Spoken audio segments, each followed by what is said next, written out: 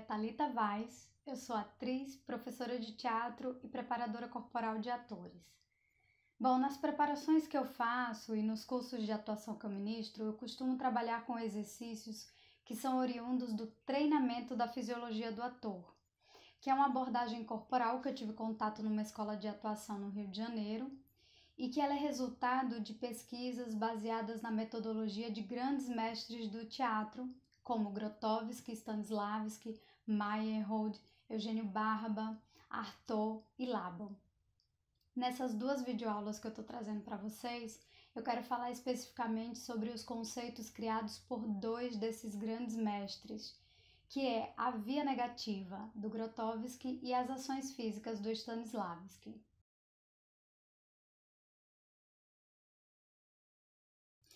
Ah, é importante destacar que eu não sou especialista nem em Grotowski nem em Stanislavski. É, na época que eu estava fazendo a monografia da minha especialização, que foi focada nesse treinamento, eu precisei pesquisar e estudar um pouco mais, principalmente sobre esses dois encenadores e sobre esses conceitos que eu estou trazendo aqui para vocês. Então, essas videoaulas são o resultado de uma pesquisa que eu fiz em cima desses conceitos Claro que em 15 minutos, assim, não vai dar para a gente aprofundar muito nesses assuntos, mas eu vou tentar trazer aqui para vocês os principais pontos para que a gente possa ter uma noção do que, que significa esses conceitos e de como eles podem auxiliar a gente no nosso trabalho, no nosso fazer teatral. E vou deixar também sugestão de livros, porque para quem quiser pode se aprofundar mais e conhecer mais sobre o trabalho desses grandes mestres que vale muito a pena. Bom, nessa primeira aula, como eu falei, a gente vai falar sobre a via negativa do Grotowski. Mas quem foi Grotowski? Só para contextualizar um pouco para quem ainda não o conhece, Grotowski nasceu em 1933 na Polônia e se tornou um grande diretor teatral que desenvolveu uma profunda pesquisa focada na atuação. Bom, logo no início da sua carreira como diretor, quando ele assumiu o Teatro das Treze Filas lá na Polônia, ele começou a, a reservar cada vez mais tempo para os ensaios, deixando tempo livre para os treinamentos do que para as apresentações em si. Né? O que antes ele levava três meses para a montagem de um novo espetáculo, ele começou a levar seis meses e depois um ano e assim por diante. É, o que foi o início da pesquisa dele e que levou para o que ele chamou de teatro laboratório. Ele buscava um teatro essencial e ritualístico, baseado na relação entre ator e o espectador, que é o que ele vai chamar de teatro pobre. É, essa nomenclatura, na verdade, é, vem de uma tradição na Polônia de outros grupos de teatro daquela época que o Grotowski ele vai se apropriar e levar para o trabalho dele, é, que visava a investigação do trabalho do ator e reduzir os elementos de cena para se concentrar nessa relação ator-espectador. É, e por elementos de cena, a gente entende os recursos como recursos de iluminação, de sonoplastia, trilha sonora, cenário, figurino, né? É, não que o Grotowski achasse que não deveria ter esses elementos, não era isso. Mas ele achava que esses recursos eles só deveriam entrar em cena quando fossem realmente necessários para poder contar aquela história. Ele se considerava um continuador das pesquisas de Stanislavski, apesar de que ele tinha uma abordagem que era muito mais visceral né, diferente do Stanislavski, que tinha uma abordagem muito mais realista, naturalista. O próprio Grotowski ele dividiu o seu trabalho em quatro principais fases. A primeira fase ele chamou de o teatro dos espetáculos ou a arte como apresentação. A segunda fase ele chamou de para-teatro ou teatro da participação. A terceira fase foi o teatro das fontes até chegar na última fase que ele chamou de arte como veículo. E esse conceito da via negativa, ele surge já nessa fase do teatro dos espetáculos, que tem como foco principal a técnica pessoal e cênica do ator. Bom, para trazer algumas informações mais técnicas aqui para vocês, eu vou ler algumas coisinhas aqui que eu pesquisei, que eu trouxe, que eu achei interessante sobre essa pesquisa dele da via negativa, tá? Ao longo do percurso do Grotowski como diretor artístico, tanto do Teatro das Treze Filhas como do Teatro Laboratório, ele percebeu que o trabalho do ator sobre suas questões psicofísicas era matéria-prima fundamental para a realização da criação artística. Nessa investigação sobre a corporeidade do ator, o foco era o confronto com o desconhecido, que no, no caso era a própria criação, em detrimento de um acúmulo de saberes e de técnicas. E aqui o entendimento da via negativa, ele se configurou como uma chave fundamental tanto na pesquisa do seu treinamento físico quanto no trabalho criativo. Bom, segundo ele, o ator deveria ser orientado pela seguinte questão: Quais os obstáculos que me impedem de chegar à realização de um ato total? Bom, e segundo Grotowski, ato total seria a exteriorização do eu, um ato de extrema sinceridade em cena.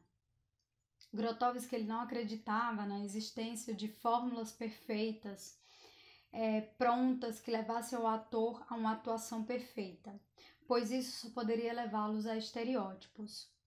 O ator, segundo os preceitos de Grotowski, deve preocupar-se menos em fazer, abrindo mão de padrões habituais e cotidianos, encontrando a sua maneira particular de representar. A via negativa, nesse caso, ela consiste basicamente num processo de eliminação, onde o ator ele procura descobrir suas próprias resistências no exercício do seu ofício e o que limita o seu potencial criativo. E eu vou aproveitar e ler aqui uma citação do, do próprio Grotowski, que está no livro dele, Em Busca do Teatro Pobre. É, sentimos que o ator atinge a essência de sua vocação quando pratica um ato de sinceridade, quando se revela, se abre e se entrega, num gesto solene e extremo, e não se detém diante de qualquer obstáculo estabelecido pelo hábito ou comportamento. E ainda mais, quando este ato de extrema sinceridade é modelado num organismo vivo, em impulsos, numa forma de respirar, num ritmo de pensamento e de circulação do sangue que são ordenados e trazidos à consciência, não se dissolvendo no caos e na anarquia formal. Numa palavra, quando esse ato realizado através do teatro é total, porque no dia a dia reagimos apenas com metade das nossas potencialidades. O mais importante, então, para a criação do ator é a maneira como ele se relaciona com os exercícios em um treinamento ou procedimento cênico, porque eliminando as resistências do seu organismo aos processos psíquicos, o ator ele vai conseguir fazer com que os seus impulsos internos, que no caso é a motivação, possam se transformar em ações concretas na cena. Bom, e o que que o Grotowski quer dizer com isso, né? Ele propõe que no momento que você esteja executando um exercício, ou até mesmo no momento que você esteja em cena, apresentando um espetáculo, que você comece a tomar consciência de quais as coisas que podem estar acontecendo que podem estar te impedindo de realizar isso que ele chama de ato total, né? É esse ato de extrema sinceridade. O que que pode estar impedindo? Porque podem existir diversos fatores para isso. Você pode estar racionalizando demais, pensando demais em, em, em muitas coisas. Você pode estar muito preocupado se você está fazendo certo, se você está fazendo errado. E e aí, quando você traz consciência, quando você percebe o que, que pode estar tá te prejudicando no momento do exercício, de, de se entregar totalmente ao exercício, de se jogar totalmente aquele exercício e deixar com que esses impulsos eles, eles sejam é, é mais é, viscerais mesmo, que esses impulsos saiam é, sem filtro, sem bloqueios, né? Porque muitas vezes quando a gente está fazendo um exercício, se a gente parar para pensar, a gente pode perceber diversos bloqueios que acontecem no momento. E aí o que ele pede é justamente para você pensar que bloqueios são esses que está acontecendo, porque no momento que você toma consciência deles, você consegue trabalhar para que eles não aconteçam mais. No treinamento da fisiologia do ator, por exemplo, né, a permanência dos alunos em, em diversas posturas e movimentos propostos é, possibilita a compreensão desse processo de eliminação análogos à via negativa do Grotowski. Porque os alunos eles não devem estar preocupados em fazer algo, mas em perceber os meios que os levam a uma ação. Bom, por exemplo, em muitos momentos do treinamento, eu peço para que os alunos encontrem um sentido, uma motivação que os leve à ação do exercício.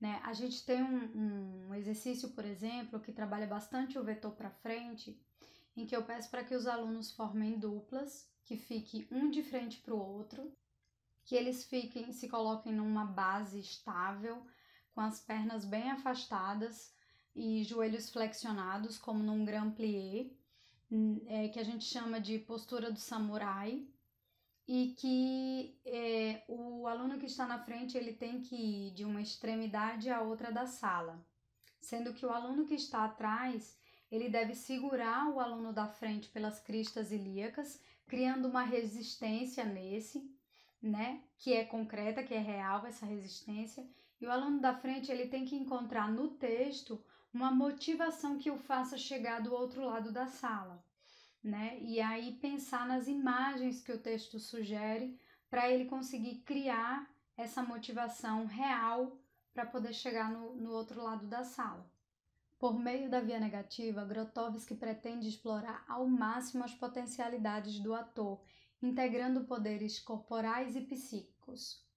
Os exercícios propostos pelo encenador devem levar o ator a um surgimento de uma técnica pessoal, assim como acontece no treinamento da fisiologia do ator também, em que cada um consegue encontrar o seu próprio caminho, aquilo que lhe motiva, aquilo que serve para você, né? O que serve para você pode não servir para o outro. Cada um vai encontrar o seu meio, a, a sua forma de, de se estimular mais dentro do trabalho, de conseguir explorar melhor esse potencial criativo. Dentre todas as referências que esse treinamento assume, sem dúvida, a via negativa é a que mais o fundamenta. Bom, e para finalizar, eu vou falar aqui para vocês alguns livros que eu acho importante para quem quiser se aprofundar um pouco mais, conhecer mais do trabalho desse grande encenador que é o Jerzy Grotowski.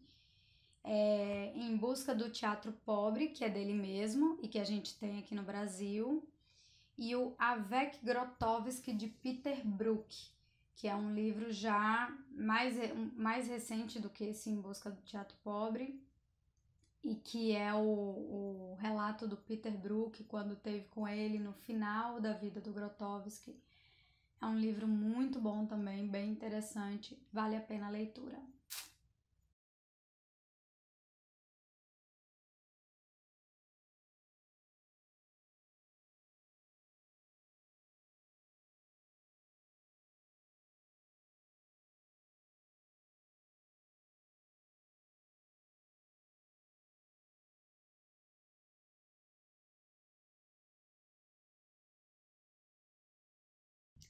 É isso, gente. Espero que tenham gostado do nosso vídeo. Se liga que tem mais. A gente ainda tem mais uma aula que a gente vai falar sobre ações físicas do Stanislavski, não perde. E é isso. Um beijo. Até lá.